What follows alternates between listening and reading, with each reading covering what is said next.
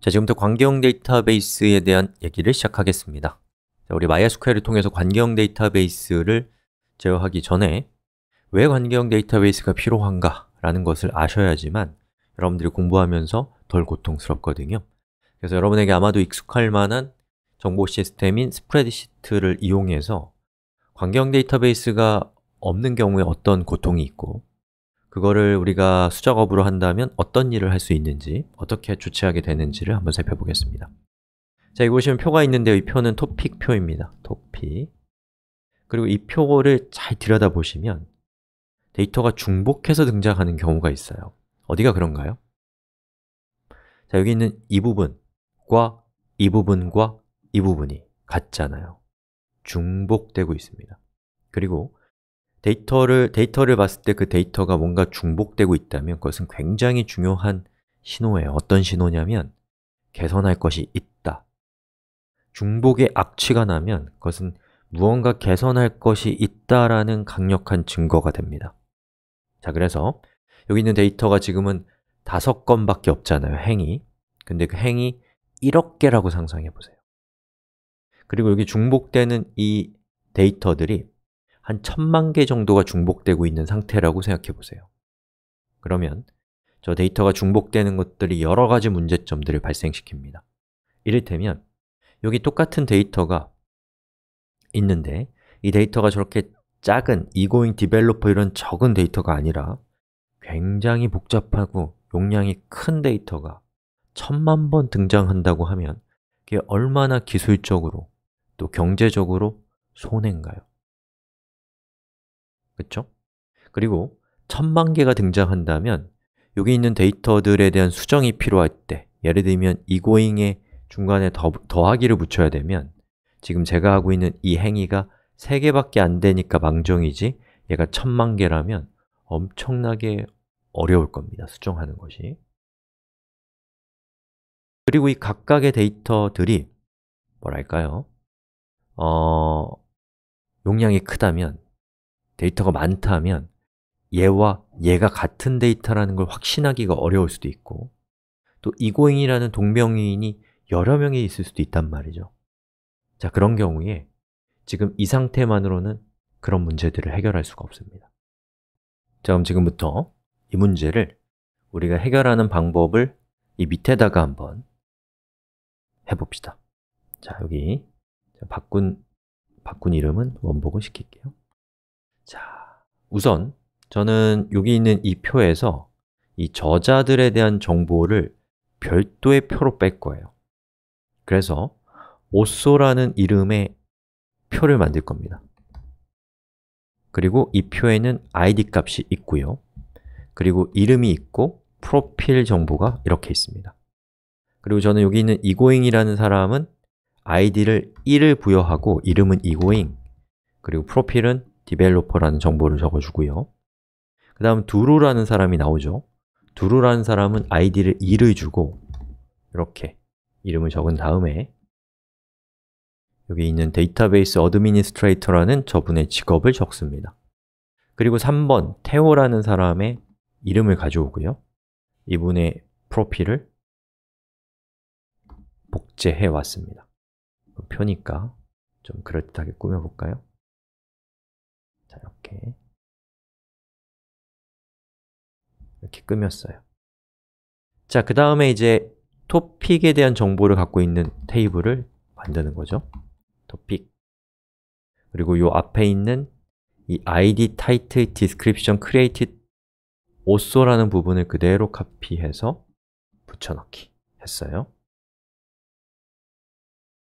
자, 정리 좀 합시다 음.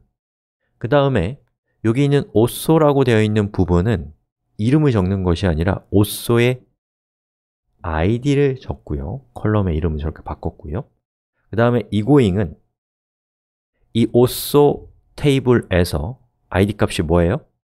1이네요 그럼 여기에는 이제 1을 적는 거죠 그리고 이것도 이고잉이니까 1이고 두루는 id 값이 뭐예요? 2, 3, 1 이렇게 적어줍니다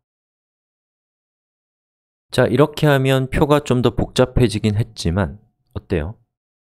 아까 이 토픽 테이블에 존재하던 중복된 데이터들은 사라지고 그 각각의 데이터들에 대한 오소 테이블의 식별자인 id 값으로 대체가 됐죠 자, 이렇게 하면 이 위에 있는 이 표가 없다고 쳤을 때 이 표를 보는 사람은 어떤 식으로 보겠어요? 어, 첫 번째 행을 보고서 어, MySQL이라는 제목이고 본문이 이렇고 오소 아이디가 1번이면 오소 테이블의 id 값 1번을 보고 아, 이 사람은 이고잉이구나 이 사람은 디벨로퍼구나 라는 걸 알 수 있죠 그리고 제 끝에 있는 이 데이터도 몽고DB 음. 그리고 오소 아이디가 1번이면 여기 있는 표를 열어가지고 아, 이 글을 쓴 사람은 이고잉이고 디벨로퍼이구나 라는 것을 알 수가 있게 됩니다 그럼 만약에 여기 있는 이 이름을 뭐 예를 들면 한글 이름으로 바꿨다. 예, 그러면 여기 있는 표를 나중에 보는 사람이 MySQL, MySQL is 보고 OSID 1번 찾아서 1번이 이름이 한국어 이고잉이라는 걸 보고 아, 이 사람은 한국어로 된 이고잉이라는 이름을 가지고 있는 사람이구나 라는 것을 알 수가 있게 되는 것이죠. 즉, 이전에 있었던 이 표와 비교했을 때 만약에 그 오소 테이블에 있는 이 부분을 이 부분을 바꾸면 이 오소 테이블을 참조하고 있는 모든 행에서 데이터가 바뀌었다 라고 할 수가 있는 것이죠 예. 그러면 이 고잉이 바뀌면 옛날에는 얘도 바꾸고 얘도 바꾸고 얘도 바꿨어야 되는데 이제는 이것만 바꾸면 된다라고 하는 말하자면 유지보수하기가 훨씬 더 편해진 거죠. 예, 그리고 여기 있는 값이 id 값이 1번이면 어, 이 사람이란 걸 알 수가 있죠. 예전에는 여기 있는 이고잉이라는 사람이 이 앞에 있는 이 사람들과 다른 사람이라고 할지라도 예를 들면 이름도 똑같고 그리고 프로필도 똑같으면 여기 있는 두 사람, 여기 있는 이 사람들과 이 사람이 같다는 걸 확인할 수가 없어요 근데 예를 들면 여기에다가 4번, 이고잉, 그리고 프로필도 똑같아요 넣으면 여기 있는 이 사람이 이 사람의 아이디가 4번이면 우리는 뭘 확신할 수 있어요? 여기 있는 1번, 여기 있는 이 두 글은 두 개의 글은 id 값이 1번이 이 사람에 의해서 써진 것이고 여기 있는 마지막에 있는 글은 id 값이 4번인 1번과 동명 어, 같은 이름을 가지고 있는 하지만 다른 사람이 쓴 거라는 것을 확신할 수가 있는 것이죠 무슨 뜻인지 아시겠죠? 자, 원복시키겠습니다 자, 이렇게 해서 우리가 이 토픽이라고 하는 테이블이 갖고 있었던 부분에서 중복을 제거해서 별도의 오소라고 하는 테이블을 만들면 여러 가지 장점이 생기는 것을 확인했습니다. 자, 그런데 어, 이것이 장점이 생기긴 했지만 장점만 있는 게 아니에요. 그래서 우리가 보통 이런 걸 뭐라고 하냐면 트레이드 오프라고 하는데 장점이 생기면 또 단점이 생겨요.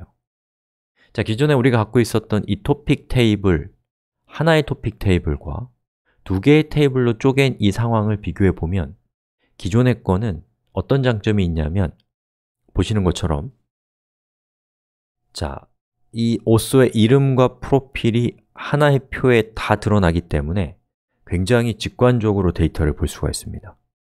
그냥 얘만 보면 하나의 테이블만 쳐다보면 그게 누가 쓴 글이고 어, 그 사람의 어떤 양력 같은 것들을 볼 수가 있는 것이죠.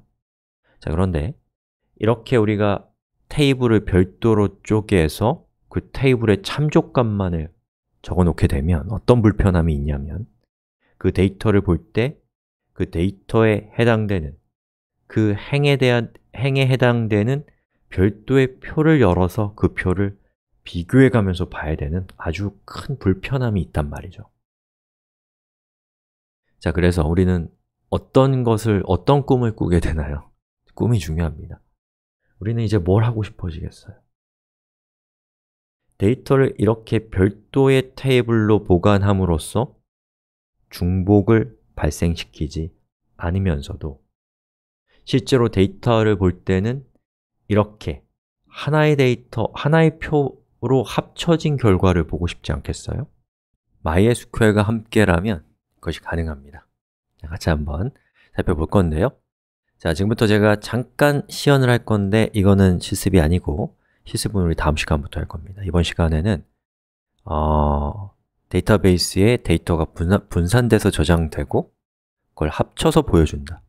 저장은 분산해서 보여줄 땐 합쳐서 라고 하는 관점으로 보시면 되겠습니다. 감탄하시면 더 좋고요. 자, 저는 미리 작업을 해놨어요. 제가 다음 시간에 같이 할 작업을 미리 해놨던 얘기입니다 기존에 있었던 토픽 테이블은 topic underbar backup이라고 하는 이름으로 바꿨어요. 지우면 아까우니까. 그 다음에 topic이라는 테이블과 author라는 테이블 두 개가 있는데 데이터를 한번 가져와 봅시다.